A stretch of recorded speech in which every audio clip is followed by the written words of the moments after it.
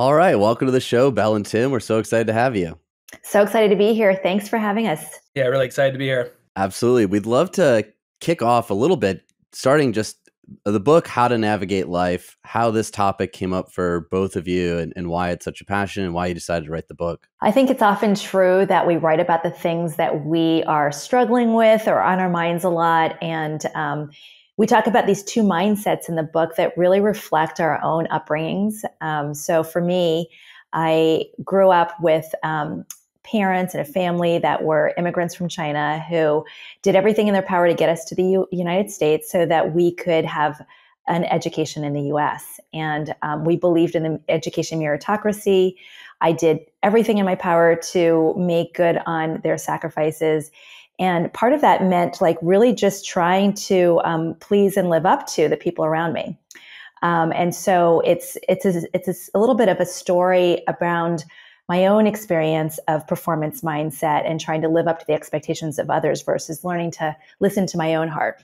Yeah, for me, I think growing up, I was not a very good student at all. I was not on that track. My I grew up with hippie parents from uh, rural Vermont, and I kind of just cruised through life. But I was very much the kid who I was like, why are we learning this? Why are we doing this? You know, I was questioning everything in front of me. And then if I wasn't getting a good answer for why we were doing what we were doing in high school, college, or beyond, I was a kid who was just not going to do it. Um, and so I think for a long time, my, you know, parent or teachers thought that was just me being a wise ass, but it was me actually learning about like, I need to know the purpose of something before I do it. And then which is funny because I was never into school, but it led me to be a school counselor and go work with low income first gen students, go into mentoring. But I think a main reason we wrote this book is that we have never taught young people or people how to decide what to do with their lives. We've never taught them how to decide on what college to go to, what career that they should pick,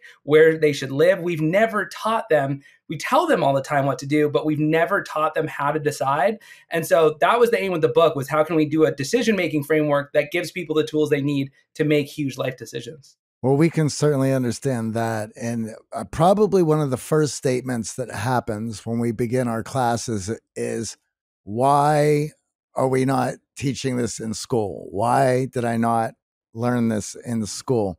And we, it's just a, an inside joke because we hear it so often. And I certainly can relate to the asking questions on any time I'm told to do anything. Give me a, sell it to me. Give me a good purpose of why I'm doing it. I'm happy to do it, but there better be a good reason. And if there isn't, then I become very mistrusting very quick. What I find fascinating is for us, a lot of times we're working with adults. So they've gone through what I call the box checking phase.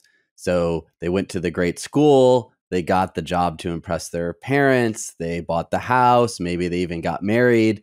And there comes a point in your life after checking boxes where you're still not happy, you haven't found that purpose, and you're asking yourself, what exactly am I doing? Why am I here?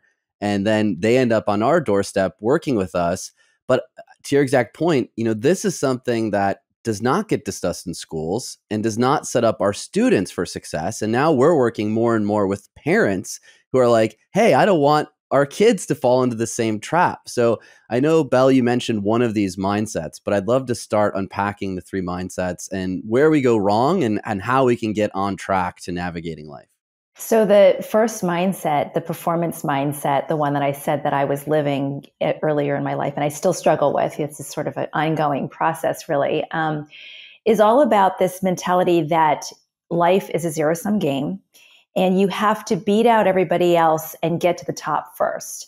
And if you're not the winner, then you're a loser. And so the stakes are high. It's a very fear driven, anxiety driven mentality. And um, I have seen for all the years that I have been mentoring young people into the workforce that that leads to a great deal of of anxiety and depression and and frankly it undercuts performance because of the anxiety um, and the lack of soulful connection to the goals in front of them. There's a sense of just emptiness around um, you know getting up in the morning So it's a it's a mindset that does not necessarily lead to it definitely doesn't lead to mental health and it and it doesn't lead to the best performance either. Well, what I've noticed in school, obviously we get tested, we get graded, we take standardized tests, and there's always this score attached to it. So the performance mindset becomes reinforced in the way that we're actually educating our youth. And then you get your first job and well, there is no score and there is no winner at work. You have to collaborate, you have to participate in the team, you have to showcase the soft skills, the emotional intelligence to get into the leadership roles.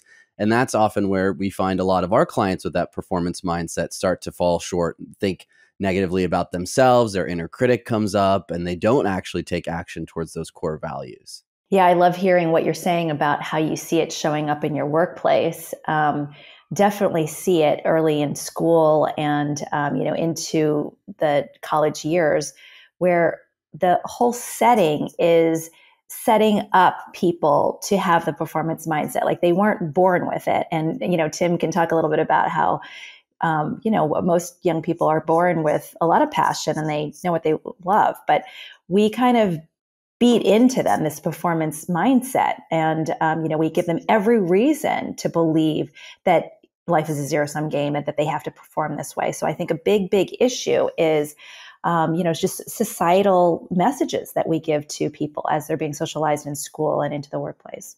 How much of that do we think comes from uh, the link of parents who haven't been able to achieve certain goals in their lives? And then, of course, now they see their children as their second opportunity to make this happen.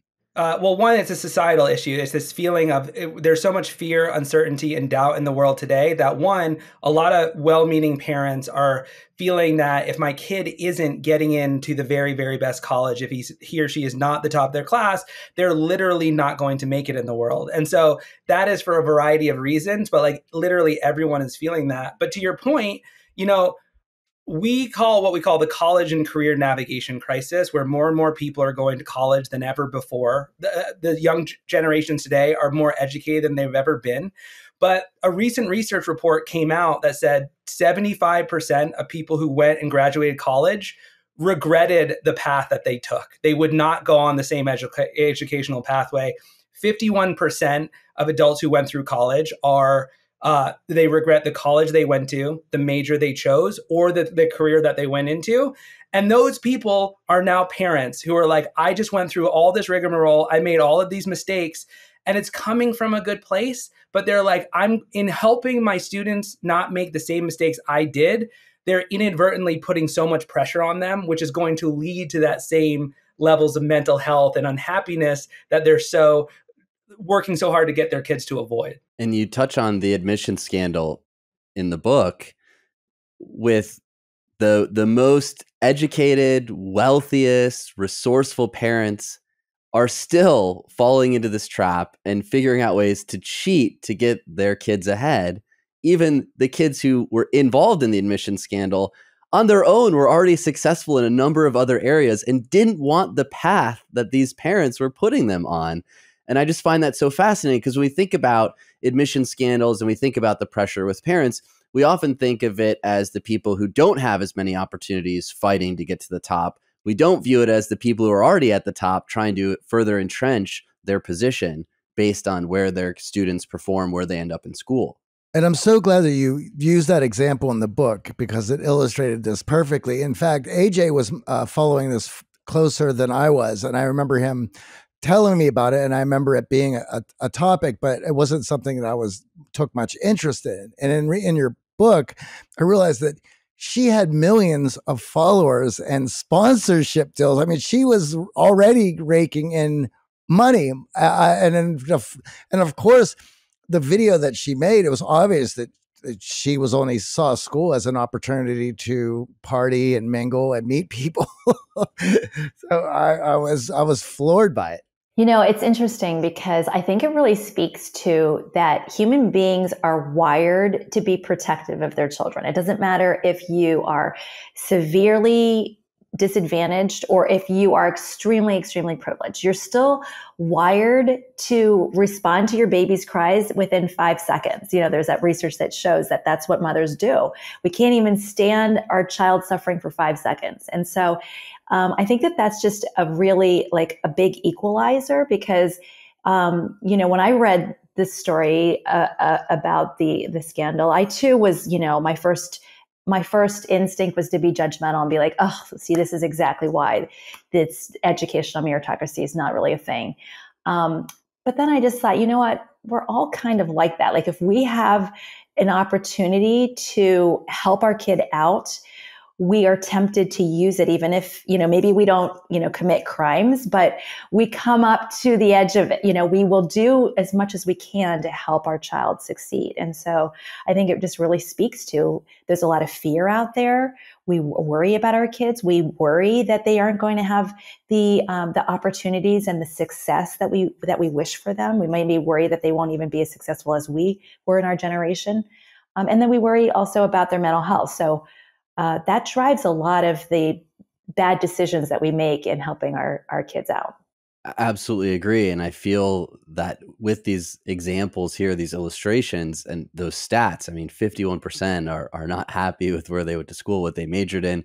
You know, we often in our classroom ask, well what did you want to be when you grow up? And it kind of becomes like a silly trope right? Like we we had this passion we had this real interest and then all of a sudden our parents or our school teachers based on where we tested or, or some other areas that they felt was a better path to success they guided us they shaped us they pushed us sometimes they cheated their way to get us on that path and then we end up unhappy as adults. We end up passionless purposeless and all of the anguish that goes along with that and we have some older clients who come in the classroom and say, Man, I wish I would have learned this when I was in high school and in college. I wish I would have had this emotional intelligence to make these better choices for myself.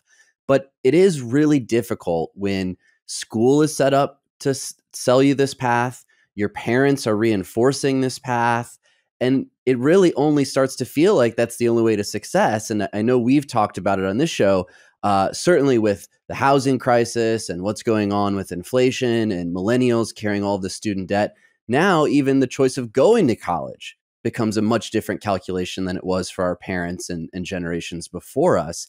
So I'd love to sort of shift gears a little bit and just talk about what is going on in this higher education space specifically, because I know that with all the regret that we're hearing around where they went to school, what they studied, well what might be the answer? Like how do we start to to change course if we're now raising kids who are about to start college or we realized ourselves we made some mistakes in these choices yeah, I, I. I'm really glad that this is what we're talking about here because th- I think this is one of the biggest challenges that young people and parents face today.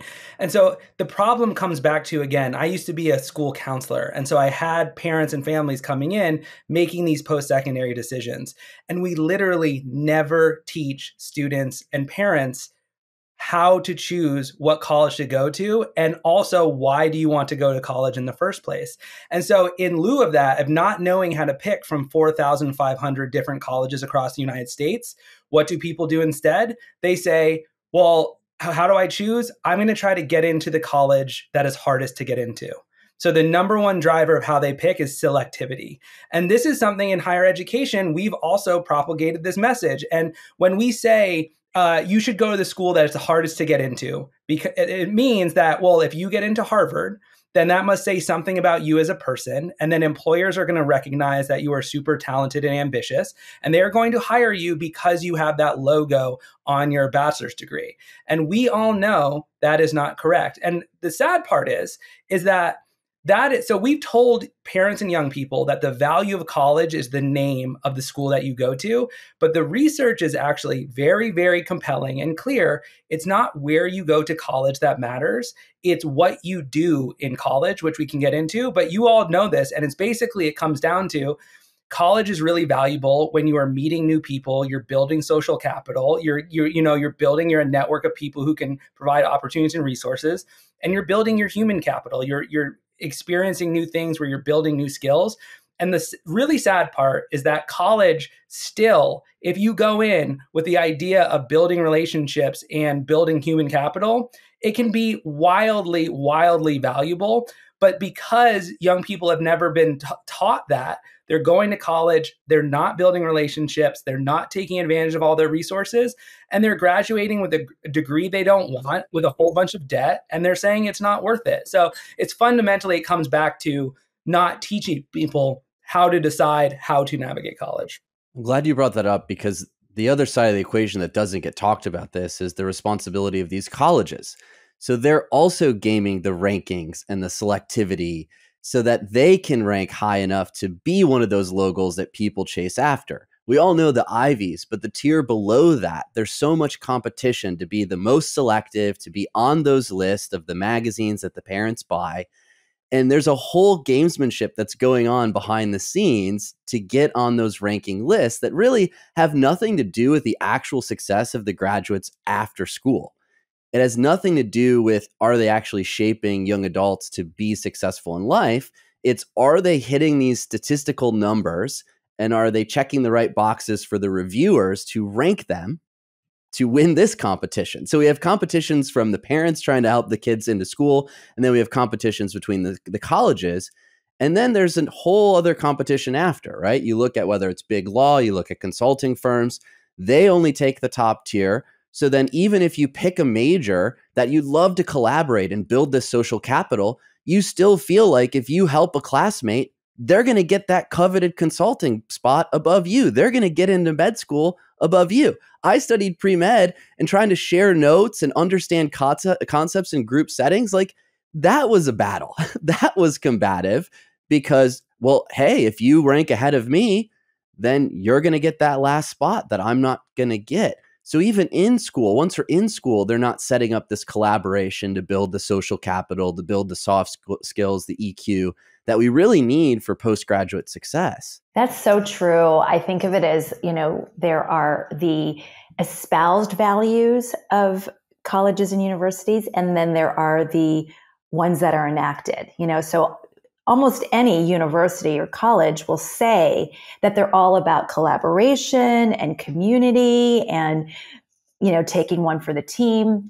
And um, you know that they're about social justice and these loftier you know kinds of values. But but when you survey students which we're doing right now when you ask them what are the values of their institutions that's not what is being reflected to them. You know, they see institutions that are about focus first on yourself and and really achieve and produce in a way to set yourself apart from the rest of the herd. And so i think that we are sending our students um, very very mixed messages about what we say we care about and yet how we're socializing them to be. I think that is in, in every institution at this point there is a lot of mixed messages from the top down there's like a lot of different societal factors happening. Like I kind of think about it as we've kind of created this educational system that no one is happy about, but everyone feels like they have to play the game. And so, you know, I kind of think because I'm a public educator, I've been in it, we work at a college, and it's kind of you know we've under underinvested in higher education on the federal and state levels for a long long time. And so that's created this world in which they need to go out and recruit students and admissions becomes much more of this competitive game. And then you know those those rankings work. They don't no one likes those rankings. You go to a college no one likes them but they work because parents are the ones looking at it. And it becomes this reinforcing uh, reinforcing self-fulfilling prophecy. And again it becomes back to we need to start talking to parents like you two are doing with your with your education. And your is about well what is the role of college? What role do you want to play with in it? Because um, yeah so it's just changing the narrative on it. Being on the inside and recognizing this one mindset performance mindset a lot of people in our audience might feel might not recognize they're feeling what are some of the signals, the questions that you're seeing from students and then young adults around how this performance mindset has led them astray? And what can we start to do to get back on track with the right mindset? So, over and over again, I see um, students come into my office who are taking a course that has our pur- purpose curriculum in it. And they come in distraught because um, thinking of a specific example of a student who has um, you know, who was who was pre-law, and um, and she had chosen that particular track because it was associated with financial security in her mind, and she comes from a family where that was is very important that that that was needed, um, and through the, the the course of the semester, she recognized that it wasn't sitting right with her to be pursuing this field that really wasn't what she felt called to do. And so I asked her, if you didn't have to worry about financial security, what, and you knew that people would approve of your choice and you knew that you were guaranteed success, what would you choose to do? And she said, well, what I'm really interested in is something in human services like um, social work, but I, I've heard you can't make a living doing that. So I said, okay, what is it about human services and social work that you're interested in? And now we were having a fruitful discussion. She was saying, well, I could use my relational skills. I'm interested in doing nonprofit organizations. And here are the reasons. She had so much passion as she was talking about this vision of herself that she felt she couldn't pursue. And from there, I said, okay, now let's add back in the external pressures of financial security and so on. How could you be doing some of those things that you're so passionate about, but in a way that still meets the needs that you have around financial security? Well, today she's doing a double um, major as in as a master's in social work and an MBA, getting ready to launch her her nonprofit organization.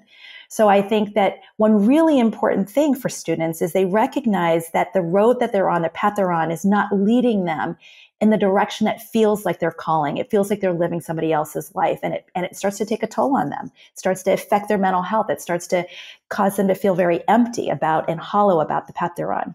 Yeah, so a performance mindset is on one end of a spectrum where that is the idea that the goal of life is to be successful. We all here know, everyone knows that, you know, what so we have a lot of people right now saying rejecting the performance mindset and they're saying what's the point of being successful if I'm going to be miserable? And so we see it in the great resignation. We see it with people quitting their jobs. We see it everywhere. We're seeing people go to the complete opposite end of the spectrum and they're adopting what we call a passion mindset. And this is what I grew up with for a very long time. So the passion mindset says the goal of life is to be happy. And so if you believe that the ultimate thing in life is to be happy, there's a very simple formula you live by, which is you want to maximize positive emotions and you want to minimize negative emotions.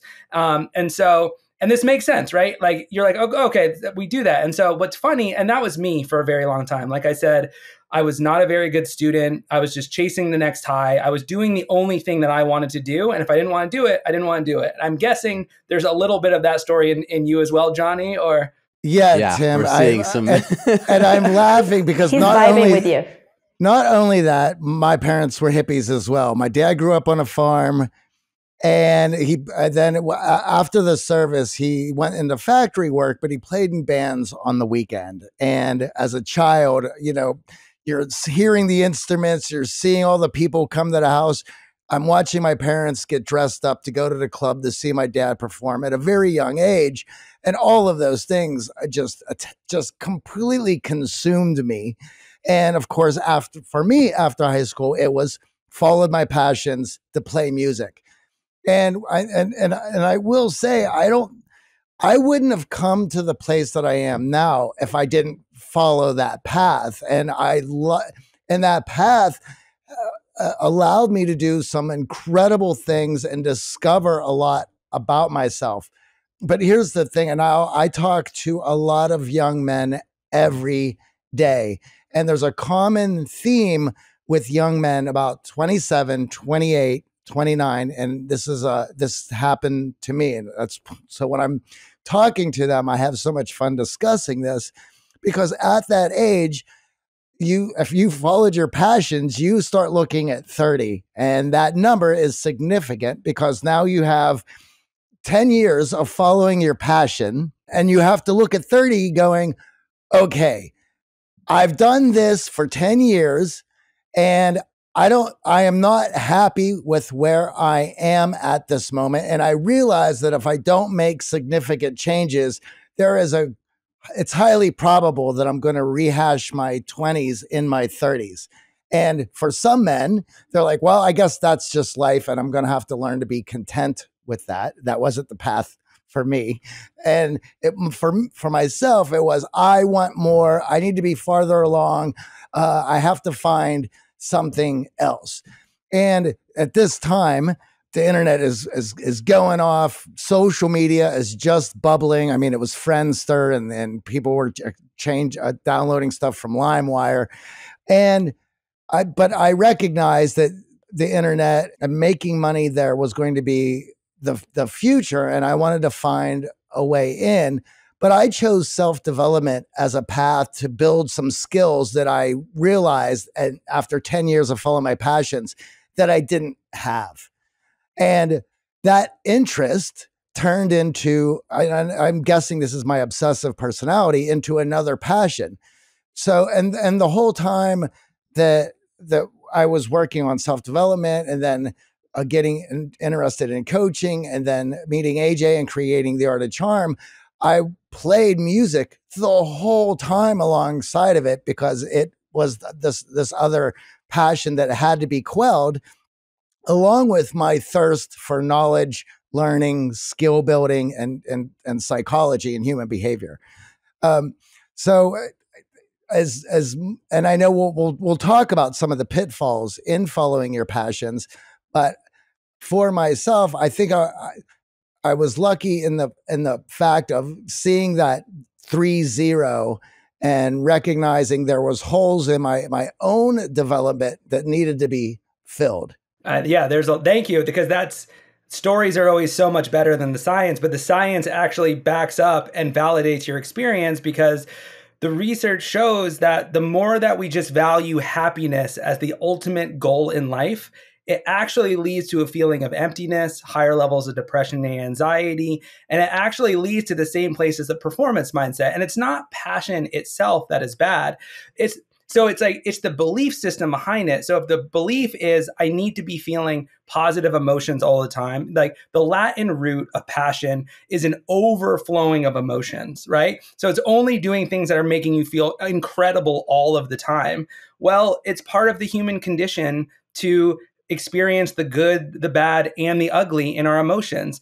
Uh, no one feels good all the time. Actually, there is only one subset of people who feel good all the time clinical sociopaths, right? and I don't think that's what we want here. and so I think the issue with the passion mindset if the performance mindset says what should i do the passion mindset says what do i want to do and it sends this message that uncomfortableness negative emotions are to be avoided at all costs and it makes us not take big courageous leaps of faith like you did johnny or commit to self discipline and all these things because we know all the stuff you're doing is very very purposeful. I'm guessing it doesn't feel amazing all the time. There's tons of hard work behind the scenes where you're not feeling incredible all the time because you're tapping into something different. You're tapping into what we call the purpose mindset which is this balance between the two. Balance is is the key here and i think that's where so many of us are led astray. I mean whether it's the performance mindset where there's a total imbalance like everything is in life is geared around performance. Even the extracurriculars you take on often are devoid of passion because you're trying to get to the very top to compete. Then you have the flip side where there's tons of passion, there's avoiding all of these tough choices that often lead to you not having a roof over your head, not having what you actually need to pay your bills. And both of those are almost dead ends because ultimately you end up in the same empty place and I feel a lot of times the message that we see propagated in the media and in our heroes is one of those two paths. Like, very rarely do we hear this third path around the purpose and the challenges that come along with it. We hear about the performance athlete superstar who just grinded through all of that hardship, or we hear about the person who struck gold with their passion and happened to become a superstar musician and everything was paved in gold. And in reality, like that is just hitting the lottery on both ends of the spectrum. And it's so rare that we don't realize by trying to go down either of those two paths fully we're going to lead ourselves into that pit of despair and happiness, frustration, and end up in the 51% who aren't happy with where they went to school, aren't happy with their life choices. Just before Belle, you go into the purpose mindset. Can I just ask AJ, can you just, how did you know? You said you were on the pre med track. You're obviously not on it anymore. So, like, can you speak to how did you get off of it? How did you know? What was the pivot there that took you away from the performance mindset? I always say this to to young men and young women that we work with, and I firmly believe that you need to be trying lots of things. And I just tried podcasting while I was in the lab, while I was doing cancer research, It was something I did on the weekends and in the evenings as a way to blow off steam, find a little passion. I didn't go into it thinking this is going to be my life's work. I certainly didn't go into it thinking I'm going to make a living off of it. And this was 15 years ago. So no one was doing it. And it just so happened that a spark lit in me. It was something that felt effortless and fun, and I looked forward to. Whereas dragging myself to the lab to inject more mice with tumors was not as fun and interesting. and I finally listened to my gut and my intuition, and I had a very tough conversation with my family. And even to this day, I, I will be honest, like I share this story. I just got married, I had my whole family together, and they still don't fully understand that decision that I made. But they're happy that I'm happy. Right. So at the end of the day, me finding my purpose ultimately led to them feeling fulfilled and happy, even if they don't understand the decision that was made and they don't understand getting out of their performance success track. So I feel in a lot of ways I got lucky, but I generated that luck by trying lots of things and failing at lots of things. I had three other businesses that I tried my hand at entrepreneurship wise with some friends, and they all failed. And this just happened to be something that caught a little fire and started to make a little bit of money. And once it made enough money, where it was like, well, I could do this and have a ton of fun, or I could stay on this track that really just makes my family happy because they get to say I'm a doctor. Uh, I'm going to choose the path that's right for me. And, you know, we're here 15 years later and my family scratches their head, but they're they're happy to see what I've built. And I think that is something that isn't often talked about when we're faced with these choices and decisions. And I know when I share that story in class with our clients, they're always like shocked by my bravery, but it didn't feel like bravery in, in the moment. It didn't feel like this clear choice or this lightning bolt. It was like it started to gain a little steam because I was willing to try a bunch of different things. And I want to add to that as well with uh, there's a and this goes back to the performance mindset and where a lot of our younger clients heads are spe- specifically uh, there's one that I'm thinking about who every time I talk to him, he's always down on himself that he's not nearly as far along in his life that he that he needs to be in his career and, and, and this and that. He's he just turned 22.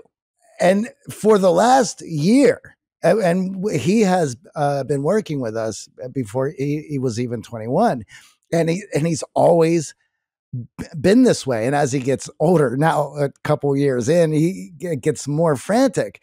And for us i was like well let's just talk let's talk about some interests and passions that you you are looking at and that are outside of you beating yourself up over this career in advertising and uh, he was talking about well he likes comedy. Well for him that was the next venture. I'm like well why aren't you pursuing it? Why aren't you writing some jokes? Going to open mic night taking an improv class. Because again coming back for for Tim, for you and I, and what AJ was just saying, it's like when you're trying all the all of these different things, you are learning, you are building skill sets, you are meeting different people outside of your own bubble. You're being uh, sh- shared with new worldviews and ideas, and that's what's going to spark more uh, interest, passions, and finding ultimately that purpose. But you're certainly not going to find it having a one track mind. And, and, and of course, uh, the older we get, you start to learn that anything that you chase so fervently just runs. When people ask me how I got involved in the art of charm, I joke, I say that I, I fell into it backwards. But the, the reality was my my interest in learning and skill building and, and psychology. But the the things that happened due to those interests well, those were the lightning strikes, but those would have never happened had I not fully committed to these interests. I could not agree more. I see all the time um, young people feel like they have to figure out, they have to do the risk assessment first. And as long as there's this tiniest bit of risk, they can't just pull the trigger, they can't make the move. They're just so like, you know, stuck because they're so afraid of making a mistake.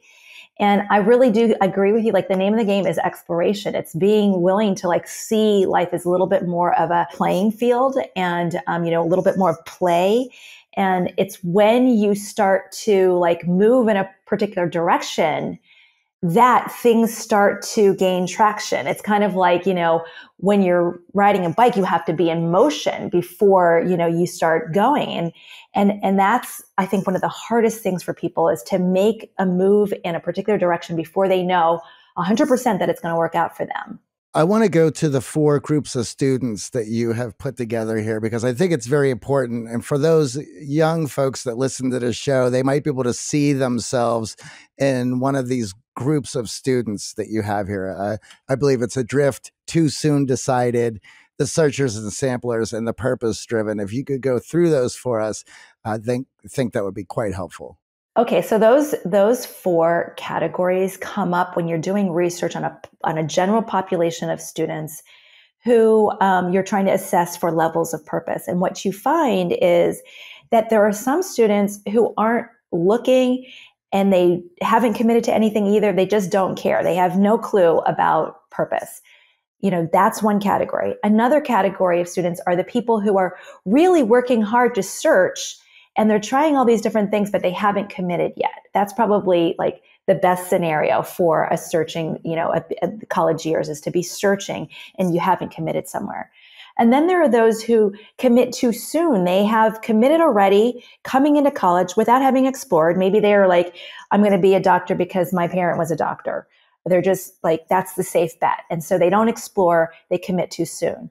And then there's the eventual process of getting to a place where you've done a lot, lot of exploration and you're ready to make your first commitment. It's not your forever commitment because purpose is constantly evolving from one stage of our life to another, just like you guys, like what you just described in your own career journeys. You'll probably have other, you know, chapters to your, as much as you love this one, there, it's probably going to grow and evolve. And that's great. So purpose you know, means like a first commitment, a next commitment, a third commitment, and that continues to evolve down the road. This is not like a generational downfall, or this is not like, oh, young people today are doing this. It's that, as we talk about in our book, we have designed educational and workplace systems that treat life as a pathway. Everything in, in school is all about we use the language of paths all the time. You're on track to graduate. You're in an accelerated program. You got to make sure you're not going to drop out. All of this language um, infuses this language of that life is this linear path that you need to stay on. And I'm guessing, AJ, when you were going pre med, what's the appeal of it? There is a very clear, straight path on pre med because you know exactly what you're doing and where it's going to lead. The challenge with treating life like this very linear path to the top of expectation mountain is that what happens when you veer off the path, right? What happens when you hit a detour or a dead end? Or if you don't know the path, you're lost, you're losing, and you're behind. And the dangerous part is that the higher up we go on that path, the higher we climb that mountain, the harder it is to go our own way, right? The harder it is to find a different path because we've sunk so much time, energy, and money into that path. We feel like we have to keep going.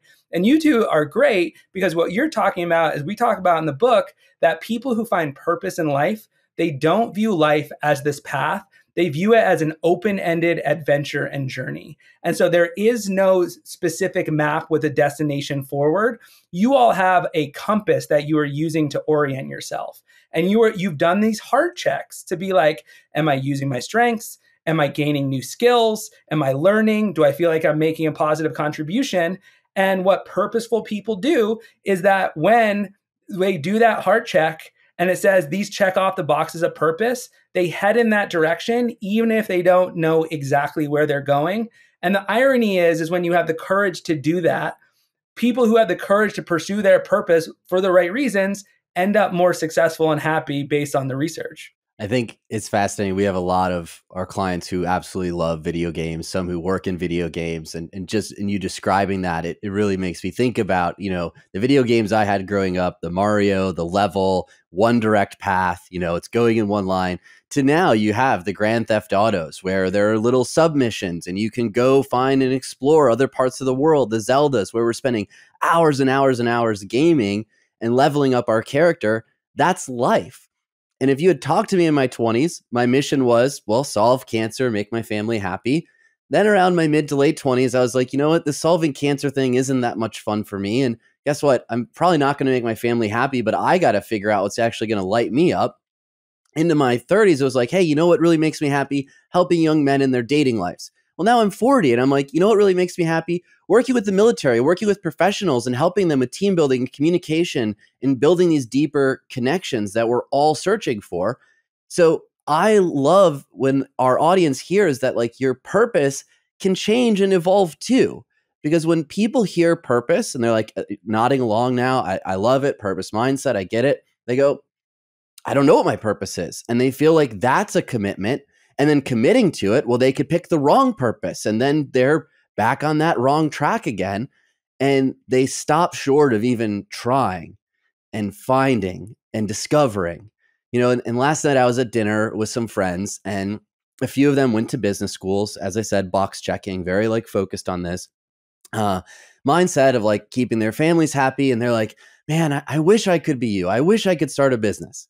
I'm like, you got an MBA, like you, you got a, a graduate degree in, in, business. Like there's nothing magical that I did other than go to LegalZoom and get the LLC. Like you can do it. And unfortunately, we find ourselves trapped, as you said, at the top of the mountain with this sunk cost fallacy. Well, now I have these student loans. Now I got this nice apartment that I got to cover. I can't possibly be an entrepreneur. I can't possibly start that band and go on tour. I can't possibly go explore Europe and figure out what it would be like to teach English in Asia. I can't do that. I have all these responsibilities and I have these people in my life back home that I have to live up to. And the biggest weight off my shoulders was realizing like your family is going to be happy when you are purpose driven. When you walk in that room purpose driven, they're going to feel it, they're going to see it in you, and that's going to lighten them. It's not going to be the zeros in your bank account. It's not going to be the letters after your name. It's not going to be the bragging about what you do for work when they see your eyes sunken in, they see you beat up from the stress, overworked, exhausted, and unable to show up at the family events, unable to participate in your kids' upbringing because of the choices you made. Just on that, um, one point, and then I do want to get into the purpose research because Belle is a world leading expert in purpose, so she has a lot of like, what can we do per, uh, in what can we actually do? But to, to speak to AJ's point, you know, like you being a young man and saying i'm going to be a doctor and go solve cancer what i've realized working with young people is we ask them all the time what do you want to do when you grow up right we ask them all the time like you need to have some sort of profession picked out and what happens with young people is that the worst answer is not having an answer no one feels like they can say, I have no idea, I'm adrift, I have no idea how to pursue life. So, what do we do instead? We just randomly choose some prestigious vocation like being a doctor to solve cancer. I'm not saying this is what you did, AJ, but this is what happens a lot. We pick some profession that we think sounds good to other people because we'd rather have a bad answer to that question than no answer at all. But then over time, we just keep saying it over and over and we never question it anymore. And then all of a sudden, we find ourselves on this path with all these responsibilities and we feel trapped. And so, thankfully there is a better way. There's a better way to do this that is not that complicated. I wonder Belle if you want to jump into a purpose yeah mindset. let's hear it. Yeah okay absolutely. So just in the most simple terms the way that we define purpose in the research is it's doing things that are personally meaningful that also are intended to contribute to the world beyond oneself and it's it's really as simple as that. Um, you know, it's the the the intention to contribute with things that are personally meaningful. So you can take that same career of as a, as a physician, and um, you can either be doing it in a way that is not about um, personal meaning and and contribution. It's just about the accolades and the prestige and the wealth behind it and that's going to be probably a really long slog for you if that's what it's about. Um, or you could be a doctor who is like, I am fascinated by the study of medicine and I want to be able to use that privilege and those talent and that education in order to affect change or change lives or, or heal. Um, and then that, that's the same job, just like any other job, a custodian or a teacher or a, uh, a, a nurse or whatever it is, can have very different meaning to people. And when people have purpose around their particular things that they want to do, it's a completely different experience. And so, you know, that's what we see in our research is that it has um, everything to do with whether people have increased levels of engagement in school, in work, they're increased in performance, and it also affects their sense of, of mental health and well being. When people have purpose, all of those lights kind of turned on. I also think it really influences your relationships. And I feel, you know, we sort of touched on this uh, as college should be this opportunity to build social capital. And, you know, again, at the prestigious schools, you often walk away with this vast network of movers and shakers who can open doors. And we talk about here on the show 80% of jobs aren't found online, they're found through the people you know. But what we find again and again is that school doesn't teach these relational skills. They don't teach the collaboration skills that lead to the great mentorship relationship, that lead to the friendships, lead to the network building. So, what is the advice for students who are struggling on the relationship side of building the social capital and how to find that if they find themselves on one of these tracks that is very competitive and very performance based? Because I know in my experience, that was an area that I struggled with in college because it was so competitive. And I realize now, just man, looking back, I regret not building and fostering more of those relationships. And I wish I would have been less competitive and more collaborative and more seeking of, of mentorship. And we hear time and time again, I would love to get a mentor. I would love to have these great relationships, but I'm just a college student. I don't have anything to offer. Like, how do I start to spark these relationships when I don't know anything about anything, or I don't know my purpose, or I don't know really what I want? Just on the mentorship piece there too. And like we do a lot of research where you're right it is the social capital is the number one thing that's most important not just in college but it's related to satisfaction in your job it's related to your health. It's like a, it's a stronger indicator if you're going to be alive later on in life than if you exercise drink or smoke. So it's like there's a it's the b- biggest thing that you're t- touching on it. But just to go back to the purpose piece so it's it's doing something that's personally meaningful that you also feel like is contributing to the world beyond the self. So it's doing something that feels fired up to you, but you also genuinely believe that if you achieve this goal, it's going to have a positive impact either on your family, on your community, society, your customers, whatever it is. And so that piece gets lost a, lot in this world where it's all about success, success, success, because it's all about you, right? And purpose is all about thinking about what problems in the world do you care about? Why do you care about those problems? And what do you want to do about it? And so if you come in with a purpose mindset, it's going to, you're going to approach relationships in a very different way. So if you have people here listening today, they're obsessed with getting, just being successful because they want wealth, status, prestige, and power. When they go to try to meet a mentor or meet someone to connect, it's going to be a very transactional relationship because they're just trying to figure out what can I get out of this, right? But if you actually can do the work to figure out I genuinely want to help other people, you're going to look for people who already are already doing that that you can learn from or they have some resources that you could use. And so that's going to cause you to build what we call transformational relationships, where you can go in and say, hey, listen, I'm really trying to help young men 22 to 24 get the skills they need to be successful because I personally didn't have it. What advice would you give to me so I can help these people? Do you see the difference there in like how you show up to that? And it's like uh, suddenly those people are like, what does this person want from me? What do they want? You are just looking for resources to give to other people. And that's actually what builds it. So, yeah, that dynamic it, it versus the what's in it for me mindset. And what we often find when we give this advice is people don't realize how their behaviors and actions are signaling that. It's sort of their default behavior. And then they get frustrated when they feel like, well, I followed all of your steps and I'm trying to grow this network, but people don't really want to invest time or energy or effort in me. And it's like, well, what you're communicating, either subconsciously with your nonverbals or your ask, is exactly that. It's a me first, not a we, not a grow society, grow the community, have a larger impact. It's I need this from you. I need this skill. Tell me how you built your business. Well, why do you care so much about how I built the art of charm? Why are you trying to build something? That would be a much more helpful question for me to understand to mentor you than just me giving you my cookie cutter answer of of how I built this because it's going to be different for everyone.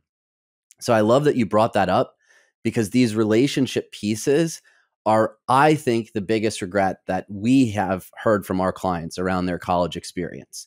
That they went through the motion, they joined Greek life, they did the extracurriculars, and then they left school. And now all those people that were in their life in school, well, they went on to pursue their career. They're having wife, kids, family, and now they don't have as much time. And they realize, well, man, I didn't really invest in my professors. I didn't really talk to the TA. I didn't really go to that graduate assistant and really get a sense for how they got on this path or what they're working on and how I could support them. And it's a lot harder later in your career to start building and go back to those relationships that really college is is the one time in your life when everyone is in that location ready to relate and connect. Like they're already on that campus to make those connections if you're willing to put in a little bit of the work and have the right mindset, that transformative relationship versus the transactional. I, I think at this point there'll be a lot of folks asking for the the young folks listening to the show. It's like, oh, well, this is great, guys, but uh, how do I find my purpose? And in the book, there was a lot of science about a task that I don't think a lot of them are going to want to hear, but it's a very good thing, and we all have to learn. And it's called struggle. So if we could hear the, the what the science has to say about struggling to find your purpose, would be great you're talking about the pro social piece, right? Which is so hard to like genuine because you can't fake it. I can't, you can't say like, oh, okay, I need to focus on other people. Like if you aren't internally feeling that in your heart and your gut, people are going to read it all over you. And so what you're talking about is how do you develop a pro social intention?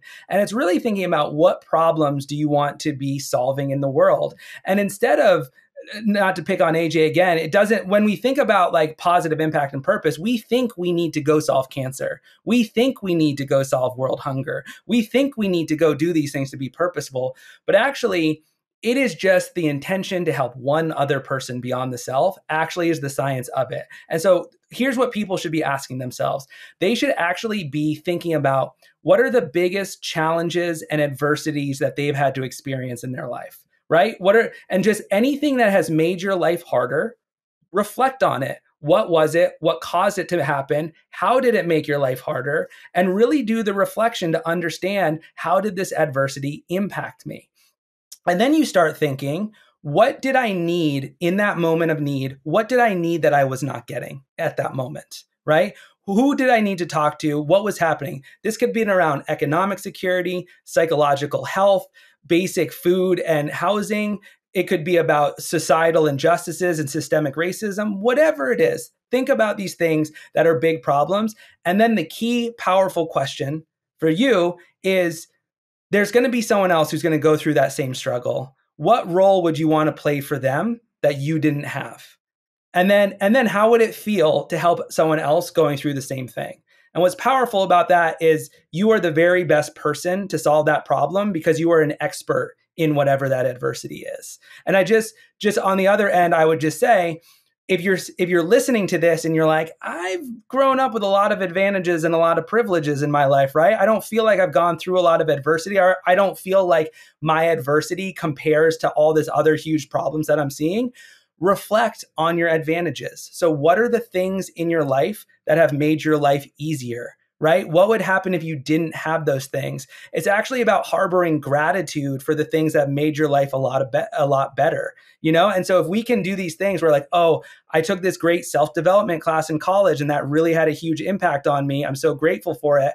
How can I spread that advantage to other people?" That can be the same pro-social intention. So it's really about reflecting on your advantages and your adversities.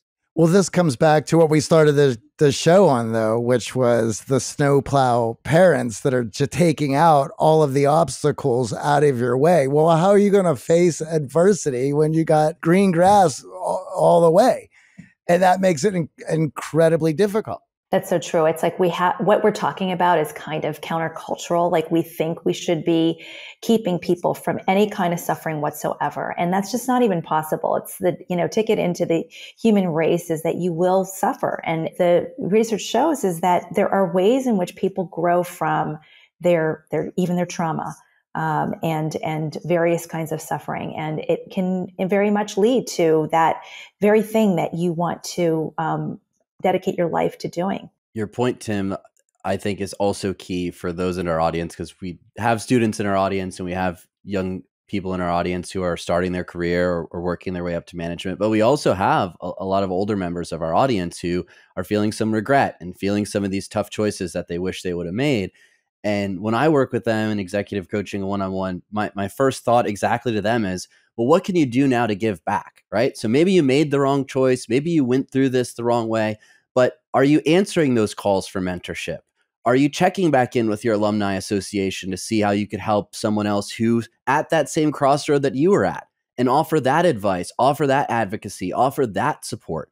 And it doesn't have to be hours every single week, but joining a board, helping another company overcome their adversity that you've learned to overcome is a great way later in your life if you felt like your life is purposeless. So, you know, there are times, of course, as we talked about, where you you fought hard, you're at the top of the mountain, you're lacking in purpose, but now you got the wife, the kids, the family, the house, all of the trappings that go with the outward success, and you're feeling that lack of happiness and and support in your life. You can actually still evoke that by finding ways to give back, to mentor, to help others than just yourself and your immediate family. And that's what I've been really grateful for in our community that so many of our older clients are willing to do that with the younger clients, like that 22 year old we were talking about, saying, Hey, you know, I was in your same shoes and I, I made these mistakes by rushing too fast and not trying some things and check this out. Um, so there are opportunities for everyone listening to tap into that purpose. And I, am loving that we touched on the, the science of the struggle and the purpose because so many times we hear this nebulous phrase purpose. And exactly your point, we tie it to cure cancer, end world hunger. And those are great purposes if that is what is the lightning strike for you. But that curing cancer wasn't the purpose for me and my impact is a lot smaller with this podcast and a lot smaller with our coaching clients, but it's still purposeful because it's beyond myself. I would just say, just on that point, anything can be purposeful. So, you know, I had a, a friend of ours who's an accountant, and he would always be like, uh, We always get crap that accountant is not this purposeful thing. And then I dig beneath the surface. Why are you an accountant? Oh, it turns out he felt very financially unstable growing up. He never knew about money. He never knew about how much money he had. And it wasn't until he got these skills around accounting that he was like, oh man, there's a science to this. I can use numbers that I can make uh, what felt gray, I can make it black and white.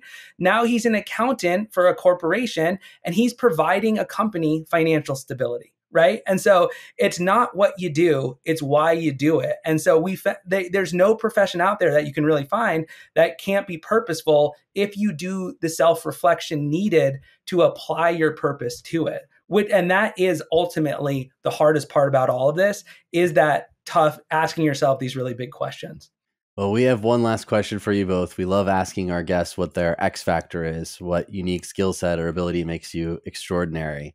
I think that um, what I love to do and what I've decided, what I've determined that I'm good at is translating languages across to other cultures. So the language of academic research is very inaccessible to like real people like on the street who can most benefit from it. And what I do is build a bridge between um, the ivory tower and Main Street, and um, and that is very much, I think, um, a unique skill that I've developed from living between worlds as a as a multicultural person, as somebody who is, um, you know, between different kinds of faith faith backgrounds, just learning how to speak the language that I speak to populations across the lines. I love that. What about you, Tim? Yeah, I think for me too, it is um, really trying to meet people where they're at and not assume anything about anyone. And how can we really try to provide evidence based resources to people in a way that feels actually helpful and it makes sense to them. Um, that's really at the heart of our work right there. So it's how can you do stuff that's also evidence based but feels imminently practical and logical at the same time? Because so so much you read these books and it has these amazing uh, theories in it, but I'm like, I have no idea how to apply that to my own life.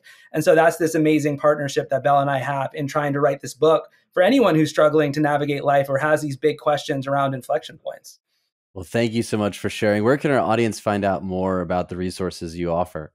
Uh, so we have our book out, How to Navigate Life: The New Science of Finding Your Way in School, Career, and Beyond. So that's came out August second. So you can buy that wherever you get books, and then you can also find us at howtonavigate.com, where we have a whole bunch of research articles, validated assessments on helping people get this language to help them develop their own purpose. So thank you for having us, and thank you for the work that you're doing because you're doing purpose work as well. So this is a lot of fun. Yeah, this is a great conversation. Thank you so much for joining us. Thank you so much.